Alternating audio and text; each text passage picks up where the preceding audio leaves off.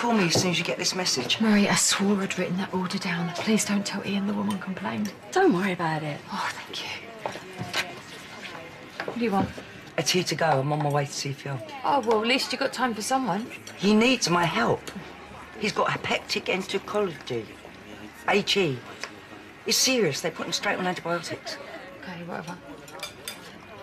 What's the matter? Oh, no, I'm so stupid. Um, Marie, you're going to kill me. Got to get some meds for Mum, and, and she's out of prescriptions, and I'm, I'm going to have to go to the clinic. Please, will you just cover the rest of the shift? Can't someone else do it?